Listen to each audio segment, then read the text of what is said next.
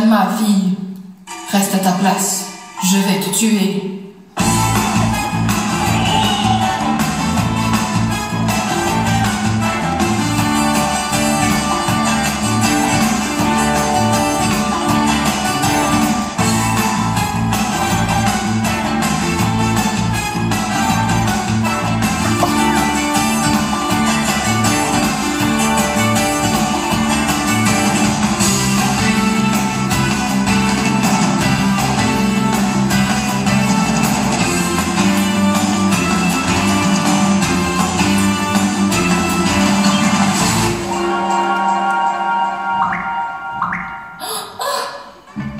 Yes, sir.